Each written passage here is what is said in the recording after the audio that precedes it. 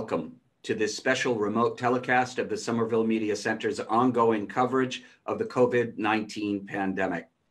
It is April 11th. I am Joe Lynch from the Somerville Media Center, and we're here with today's coverage with the state delegation town hall. It is my pleasure to be joined by State Senator Pat Jehlen from the 2nd Middlesex Senate District, State Representative Christine Barber from the 34th Middlesex District, State Representative Mike Connolly from the 26th Middlesex District, and State Representative Denise Provost joining us by phone from the 27th Middlesex District. Good morning to all of you. First, on any of these remote broadcasts, I, and during this time, I want to check in and see how each of you are doing.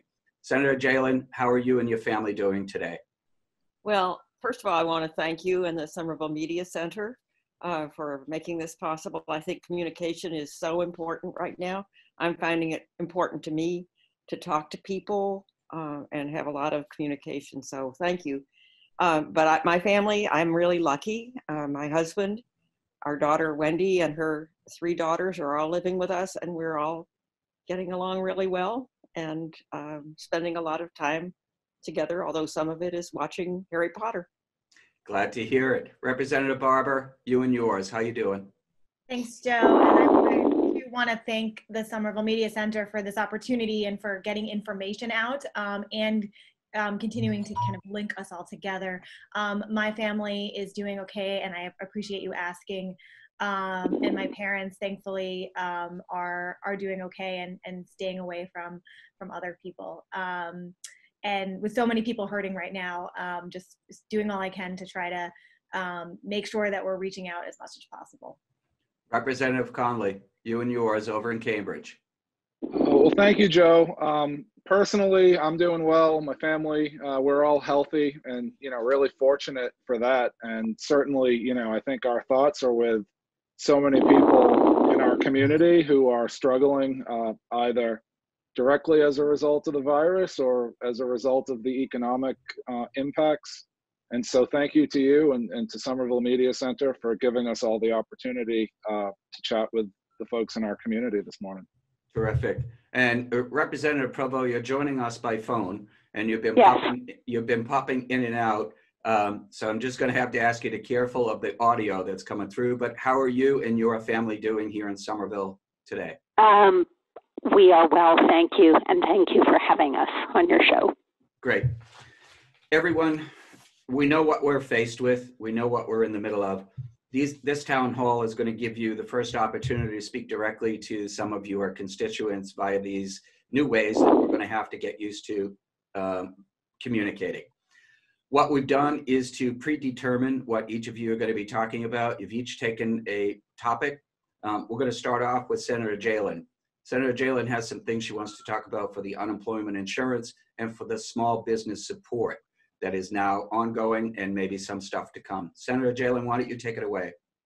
So I'm very happy to tell you that 200,000 people in Massachusetts yesterday saw uh, $1,200 or 600 uh, in their bank accounts uh, because of the federal action in the CARES Act. So that was a, a good start we my focus as chair of labor and workforce development has been on unemployment and small business opportunities to keep the economy going.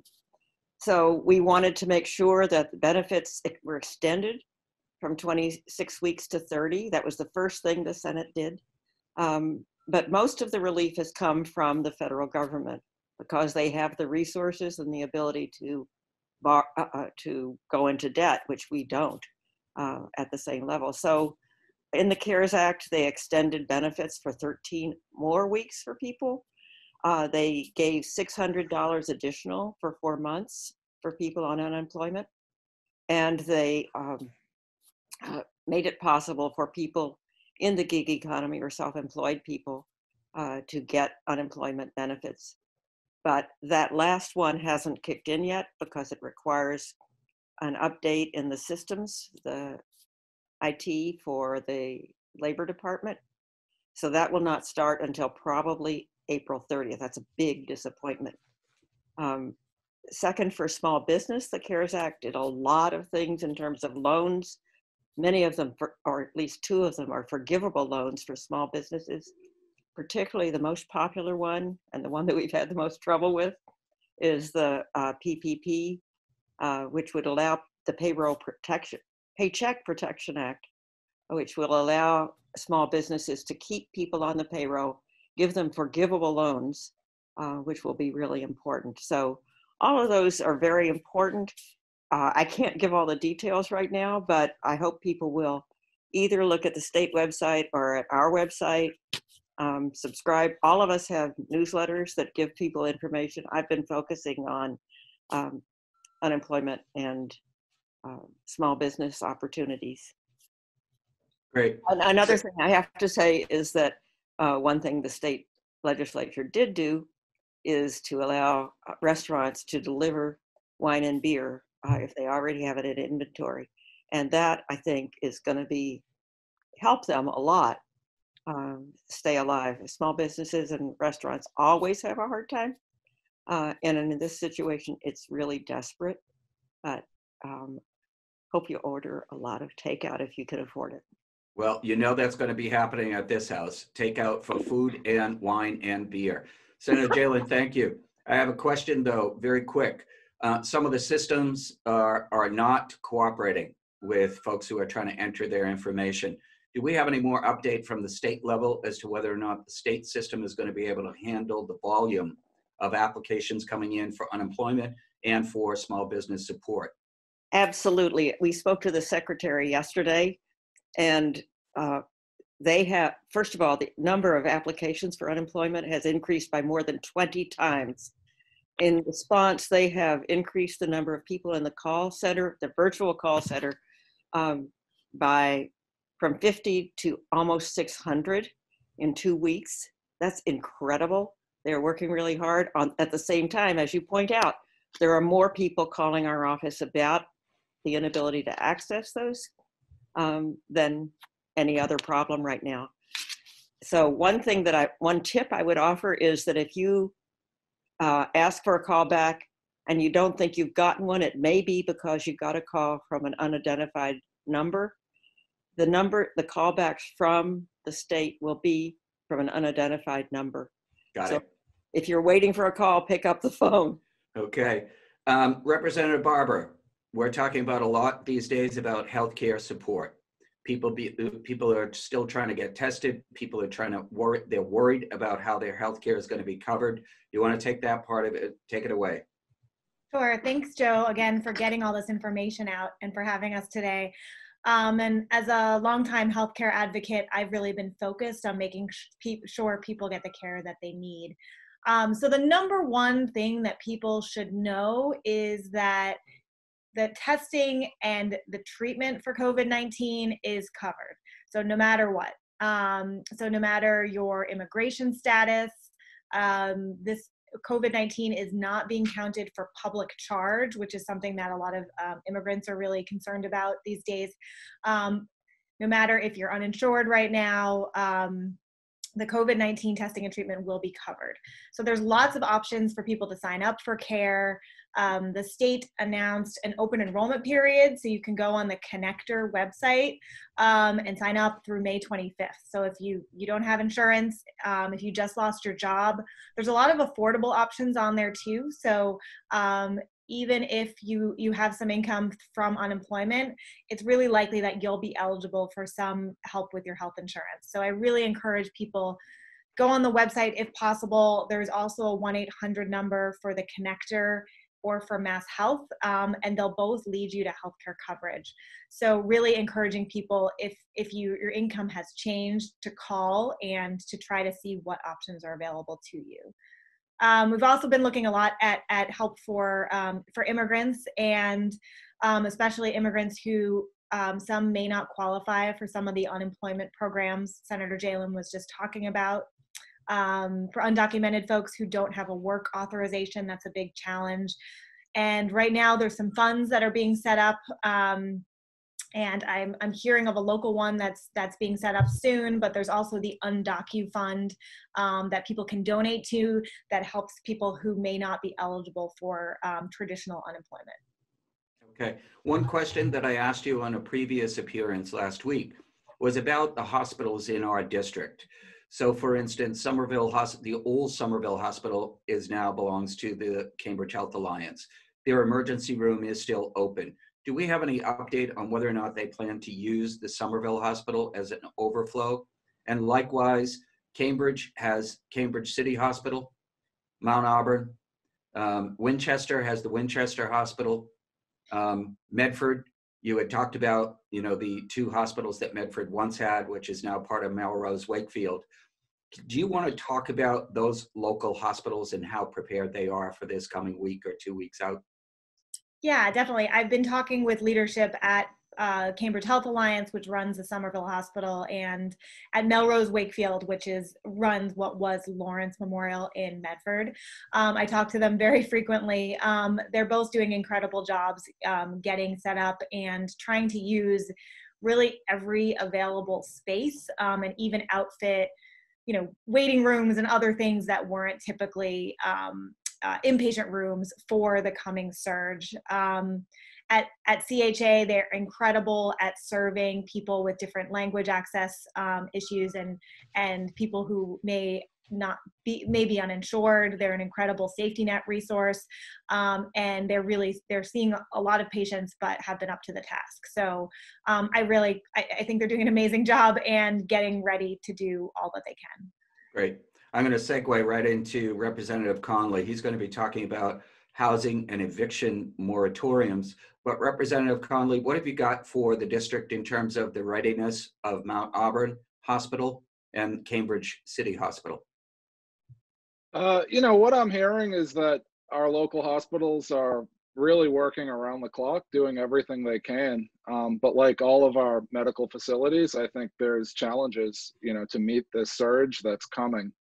Um, so certainly um, impressed with the effort, and you know, I think the challengers, uh, you know, speak to the need for everyone to stay home as much as possible. So hopefully, we can minimize how many people uh, get sick from this terrible virus. So on the housing and the eviction, I know you've been working on that in the State House at the State House level. Do you want to update us on that? Absolutely. Um, you know, we, we're now in a place where both the House and the Senate have passed very strong uh, eviction and foreclosure moratorium legislation, which is so important. You know, we keep hearing the messages stay home. Uh, and obviously, that means uh, we, we can't see people being put out into the street or people um, afraid that if they can't get the money to make their rent, they're going to have to go out to work when they're sick. You know, either of those possibilities would totally defeat uh, the public health objective of staying home.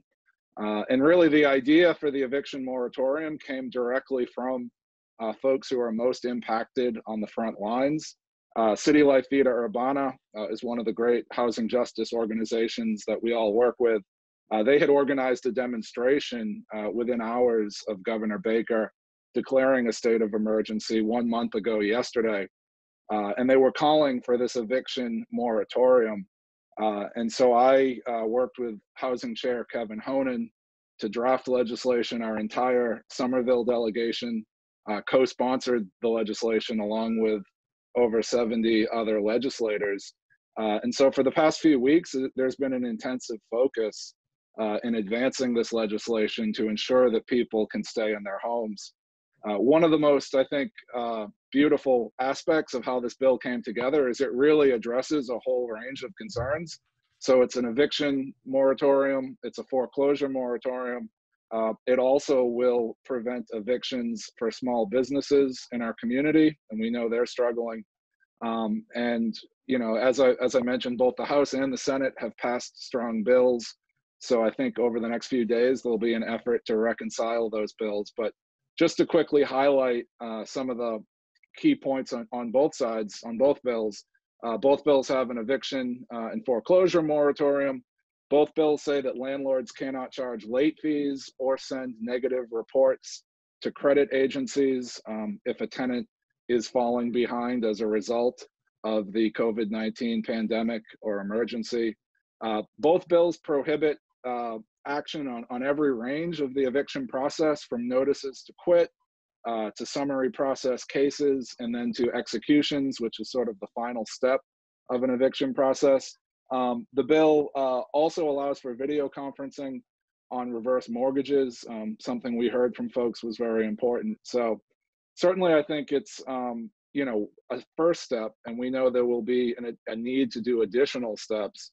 You know, step one is keep people in their home. And then step two, I think we have to take action to address the fact that some people will, through no fault of their own, be falling behind on their rent. And so we're also going to have to um, take action to ensure that those folks are made whole and that they're protected uh, in this unprecedented situation. So Representative Connolly, let me let me try to uh, filter that down. The protections that are out there for both residential and commercial, uh, what you're trying to do is protect them during the pandemic. How long are those protections in play? Are they until the emergency declaration is lifted, or do they last beyond that? that's one of the final details that we're just ironing out right now. The House bill um, would keep them in play for the entire emergency and, and an additional 30 days. I believe the Senate um, said it would be 120 days and then it could be extended from there. So, um, so more to come on that. More to come, but certainly I think the intent on both sides is to put these uh, very necessary protections in place as soon Great. as possible. Okay. Thank you very much, Mike. We're going to move on to Representative Provost. Representative, you've been patient on the phone. Thank you so much. You're going to be talking a little bit about the education and the uh, some other additional things that you want to talk about. Take it away, Denise Provost. Thank you. Thank you very much, Joe. Um, you know, there have been a lot of emails and calls recently about the need to suspend the MCAS requirement this year and Massachusetts did apply to the federal government to do so. Um, standardized testing is required under, if you remember it, that federal No Child Left Behind Act from a decade or so back. We got the waiver, and yesterday signed the gov- Governor Baker signed a bill that um, suspends the MCAS requirement for this year. So that is on April 10th, that bill went into effect. Um, the governor signed it yesterday, yes. Yes. Excellent news, I think, for a lot of the parents out there and the students themselves. Yes, and, and for teachers whose, especially those whose students are living in homes where they might not have internet access or uh, a computer or it's very crowded and noisy. Um, you know, some Somerville residents teach in places like East Boston and Chelsea, other communities where their students are having a hard time studying from remote and How keeping on- up with. On the education side, Representative Provost, I, I, I think I have this right, that the Somerville School District will be sticking with its um, spring break vacation. Is that a correct statement? Uh, I, It is. Yes. okay, we have a knows yes. better than I. Yeah. Yeah, and I know that some school districts are sticking with a curriculum during the spring vacation. So that that has a lot of play on how these kids are going to be learning going forward. Do we have any other updates on the education side of things, such as, excuse me, maybe anecdotal about whether or not the school systems are going back to physical school, or are they're going to be out for the rest of the year? Well, in this last week, the governor has admitted that it's not realistic that the schools will go back into session on May 4th, which was the most recent extension of, of closure that he'd made. There has not been a specific date set. And then on the update on education, um, do you have any, do you have any sense from, I, I know you have a wide range of educators that you talk to. Do you have any sense of how well the kids are adapting to remote learning? Oh, it varies considerably. It varies considerably. I think it, it's doing a little better with higher education. I'm on the higher education committee, and we've been meeting by teleconference. Um, and of, of course, I'll pretty all the universities and colleges in the state have moved to remote learning. They were ahead of the curve with that, but there's a lot of concern about whether uh, at least the state system of higher education will be able to open up again in the fall. So aga once again, you know, here we are going into the middle of April, and there is still an ever-changing environment out there, whether it's Indeed. healthcare or it's housing or it's education. But all of you, you know, we promised you from the Somerville Media Center that we're going to give you the opportunity every week to do these types of info sessions for your constituents, um, whether it's to be uh, chatting amongst yourselves or specifically addressing one specific need. We do have some questions though that came in. Thank you, Representative Provost. We have some questions that came in from the outside, and I'm going to try to direct these as best I can. So we have a question from Laura, and Laura asked if tests will be made available to home health providers. I'm going to give that one to Representative Barber.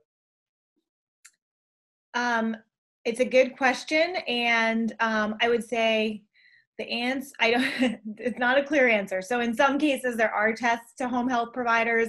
One of the things we've really been pushing for is PPE, which is the personal protective equipment that um, many have been talking about but especially for people who are going into homes um, you know it's not just for health providers it's for social workers um, early intervention specialists and people who are doing home health work um, with seniors and um, people with disabilities so Okay. it's been an ongoing struggle and something that we're continuing to work on and we know needs more work so we'll Thanks, keep. Christine. Thanks, Christine. We have another question that's coming in from, um, Oh, let me just add something there, Joe. sure. That the places we're most concerned about are places in congregate living, uh, nursing homes and assisted livings where 40% of the deaths have occurred. Certainly not 40% of people live in those uh, places, but there's so much opportunity for contagion, both among the residents and among the workers. There's already a worker shortage across the spectrum of senior services in home health and in um, and in uh, nursing facilities. So it's really been a problem that, first of all, home um, people, home care clients have been turning down visits because they're afraid, uh, and home care workers are uh, coming in, calling in sick. Uh, it's been a very big challenge for the home care agencies as well as. And I think it's going to continue to be, Senator Jehlen. And, and it's a good segue into the next question that's coming from Bridget. I'm going to give this one to Representative Connolly. Uh, Bridget wants to know, um, will the Department, uh, Massachusetts Department of Corrections publish the infection stats for folks who are in prison, in jail, and detention? I haven't seen any of those being published. You got any update on that, Representative Connolly? Uh, well, our delegation working with Senator Jehlen, uh, as a matter of fact, uh, we our staff was able to obtain some numbers. So credit to Senator Jehlen for this. Um, but Prisoners Legal Services has calculated that 46 prisoners out of 7,841 across the state have contracted the illness. Um, so that's a rate of 0.59 percent which is about 2.5 times higher uh, than the statewide uh, rate that we're aware of.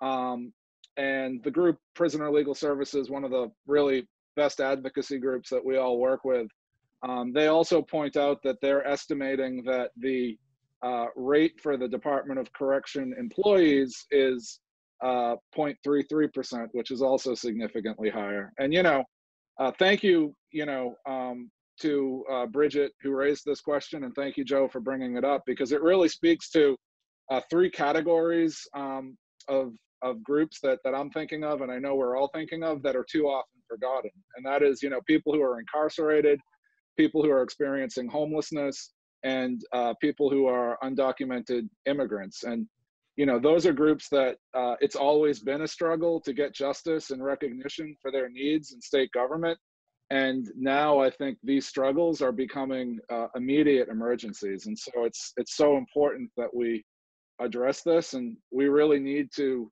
decarcerate as much as we can, and to get folks uh, out of um, these these congregate situations like prison, um, where they you know you, it shouldn't it shouldn't be a death sentence um, if you were you know sent to prison, but because of COVID nineteen, uh, it, it very well could be a death sentence, and that's just totally wrong.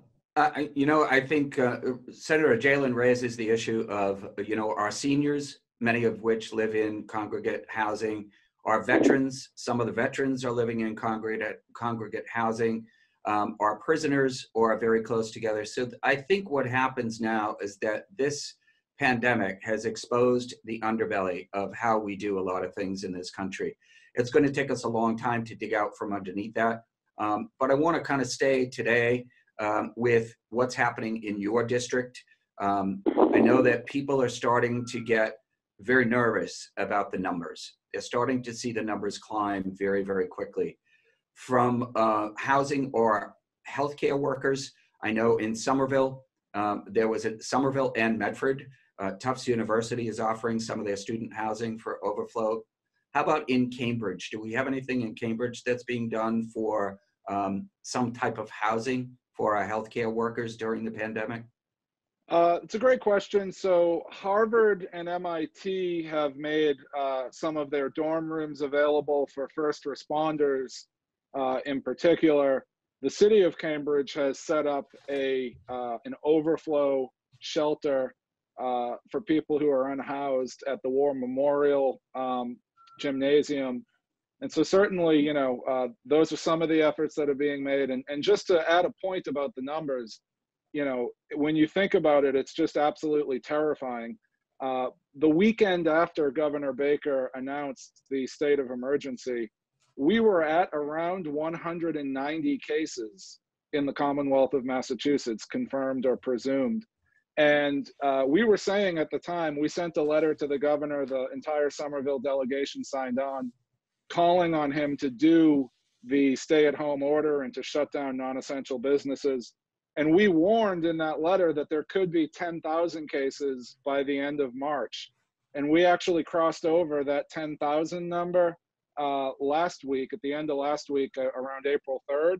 And just yesterday, we crossed over into 20,000 confirmed cases. Yeah, so these of- are, I'm sorry, Representative, as of this morning, we have 21,000 confirmed cases with 600 dead. So this thing is on track to get worse in the coming days.